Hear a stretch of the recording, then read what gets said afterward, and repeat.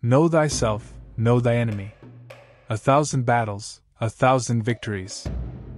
The supreme art of war is to subdue the enemy without fighting.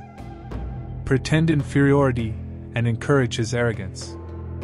He will win who knows when to fight and when not to fight. Invincibility lies in the defense, the possibility of victory in the attack.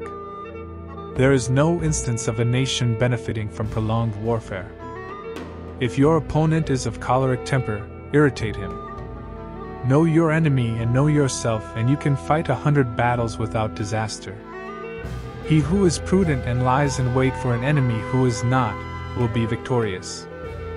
Quickness is the essence of the war. He who knows when he can fight and when he cannot, will be victorious. A good commander is benevolent and unconcerned with fame.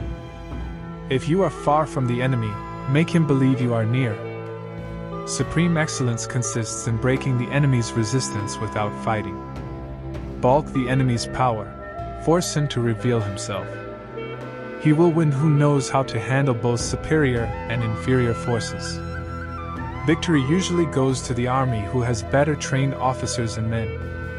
If ignorant both of your enemy and yourself, you are certain to be in peril. There has never been a protracted war from which a country has benefited.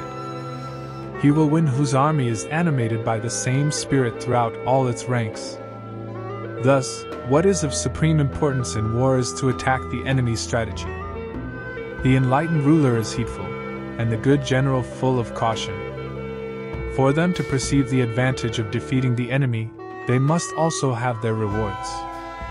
When envoys are sent with compliments in their mouths, it is a sign that the enemy wishes for a truce.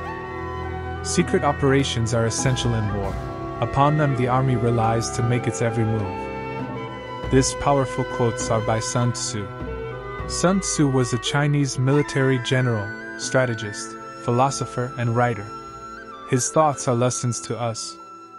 Subscribe to our channel for more content like this.